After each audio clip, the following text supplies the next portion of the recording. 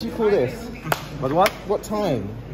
What time is now? 11.33. Dear Marco, yesterday on Instagram, you wrote down, I want her, I want her with all my heart. Yeah. Um, you got her, finally you got Yeah. her. yeah, I'm so I'm so happy. Actually, I really this year tried all that all I could do for this gold medal. Uh, it it seems amazing now, and it feels amazing because uh, I know that I compete versus crazy athletes like Mutaz Barshim is like a superhero for me. He's an amazing human being, an amazing athlete, and uh, it's not easy to beat uh, such a great uh, talent. So I'm very happy. I'm really proud of the work I put in. But you really came prepared. You've got your half beard. Yeah. You've got your lucky socks. Yeah. You've got your special, Everything, special everything, shoes. everything. How could you lose? Uh, yeah, actually, many times I did everything, but I didn't win. So, uh, a friend of mine that is a very famous sportsman, Gregorio Paltrinieri, today told me do whatever he can to get it. So I did whatever I could. For people who don't know, this was the one medal you needed. You've got the Olympics, you've got the Europeans, you've got the World Indoors, the European Indoors. This was the last one to Yeah. for the full set, yeah? yeah, Uh, so it must be can- really special. I can end my career now. No, I'm joking.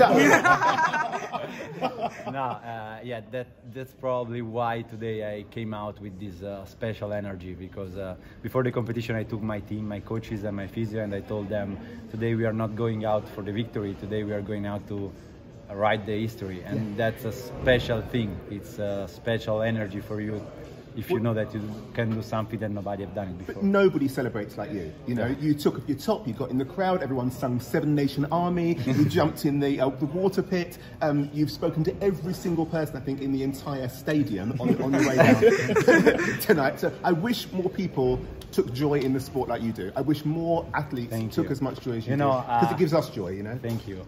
Probably uh, the really reason why I celebrate that much is that I don't, before the competition, I, I never think that this kind of uh, uh, thing are possible. Like many times I think uh, about myself and I see my opponents and uh, I think, do I really have a chance to win? And uh, when it happens, it feels amazing. One last question. Where can we all buy um, The socks? Socks. It's gonna come soon. I only got ready. wait, wait, wait. I only Get got two. I only got two questions for you. Okay, first one is I need your best celebration right now.